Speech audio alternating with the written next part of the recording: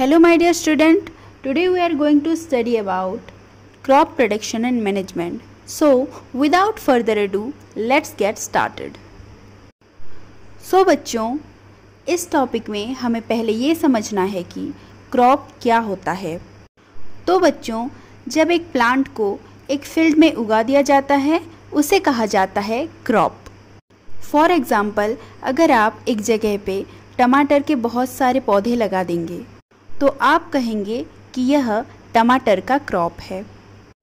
उसी तरह, अगर मैं ओकरा का बहुत सारा प्लांट्स एक जगह पे लगा दूँ तो मैं कहूँगी, यह ओकरा का फ़ील्ड है क्रॉप फ़ील्ड है। ओके सो आई थिंक आपको क्रॉप क्या है?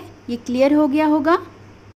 So students in India according to the climatic conditions the crop is basically categorized into two types one is kharif and another is rabi okay kharif crop एक होता है और एक होता है rabi crop okay and the kharif crops can be grown in rainy season and from June to September whereas rabi crops can be grown in winter season from October to March okay तो बच्चों, अगर हम खरीफ crops के कुछ examples की बात करें तो वो हो गया cotton maize and paddy. Paddy मतलब जो धान होता है, वो। Okay.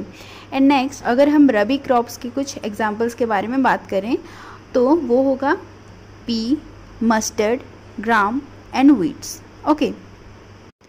Next we are going to study about agricultural practices तो बच्चों एग्रीकल्चर वो ब्रांच होती है, जहाँ पे हम खेतीबाड़ी के बारे में पढ़ते हैं कि कैसे क्रॉप को ज़्यादा से ज़्यादा उगाया जाए। और अगर हम बात करें एग्रीकल्चरल प्रैक्टिसेस की तो यहाँ पर हम जानेंगे कि कौन कौन सी चीज़ों का यूज़ करके अच्छी क्रॉपिंग की जा सकती है। And student these are the stepwise activities done by the farmers so there are seven agricultural practices first one is preparation of the soil यानी कि बच्चों, पहले हमें खेती बाड़ी करने के लिए उस मिट्टी को प्रिपेयर करना पड़ेगा। क्योंकि बच्चों, ऐसा तो नहीं होता ना कि जहाँ आपको एक फ़ील्ड मिल जाए और वहाँ पर आप कुछ सीड को अगर फेंक दो तो वो सीड ग्रो कर जाए, ऐसा तो कभी हमने नहीं देखा। क्योंकि यहाँ पर जो मिट्टी होती है ना, वो काफ़ी सख्त होती है टाइट होती है, उसके ऊपर सीड सो करोगे तो वो उग नहीं पाएगा। ओके तो बच्चों पहले हमें सॉइल को लूज़ करना पड़ेगा। उसके बाद वहाँ पर जो सारे सख्त मिट्टी थे उसको हमें थोड़ा सा, ढीला करना पड़ेगा।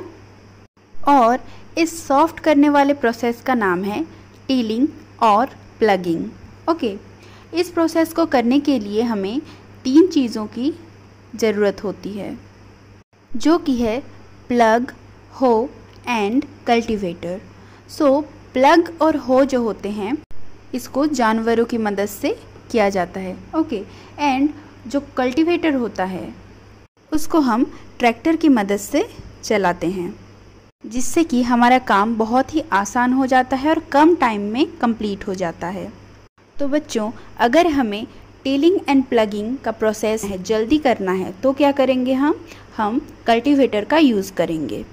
अब आता है हमारा सेकेंड स्टेप जो कि है सोइंग इसके लिए पहले हमें अच्छी क्वालिटी के सीड लेने होंगे, उसके बाद हमें उसको सो करना होगा, जिसको मिट्टी में सो करने के लिए हम यूज़ करेंगे सीड ड्रिल का, जिसके कारण जो सीड है वो एक पर्टिकुलर डिस्टेंस में रहेगी, जिसकी वजह से उनके ग्रोथ में कुछ प्रॉब्लम नहीं आएँगी.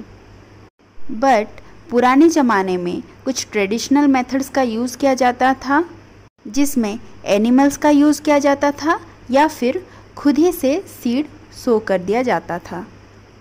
अब सोइंग के बाद हमारा नेक्स्ट स्टेप होता है adding of manure and fertilisers.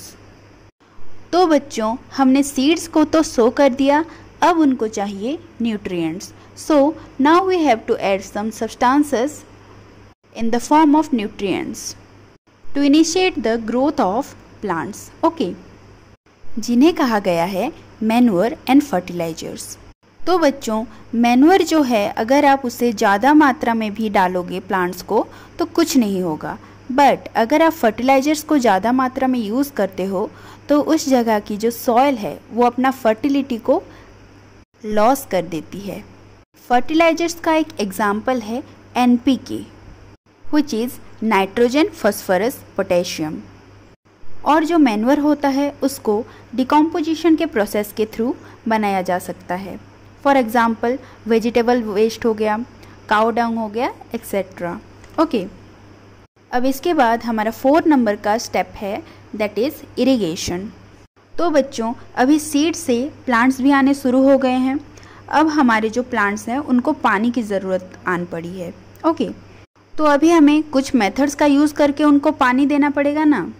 So so, इसके लिए हम यूज़ करते हैं दो तरह के मेथड जो कि है drip irrigation and sprinkler irrigation तो बच्चों पहला वाला जो है ड्रिप इरिगेशन उसमें पाइप्स का यूज़ किया जाता है जिनमें छोटे छोटे होल्स कर दिए जाते हैं।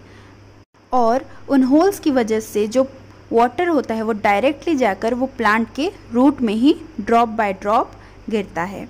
ओके एंड नेक्स्ट बात करते हैं हम स्प्रिंकलर इरिगेशन की। स्प्रिंकलर इरिगेशन जो होता है, वो बेसिकली पहाड़ी एरिया में ज़्यादातर देखने को मिलता है। इसमें क्या होता है ना, एक पाइप में रोटेटिंग नोज़ल होता है, जिसमें वाटर फ़ील्ड के चारों तरफ़ स्प्रे होता है।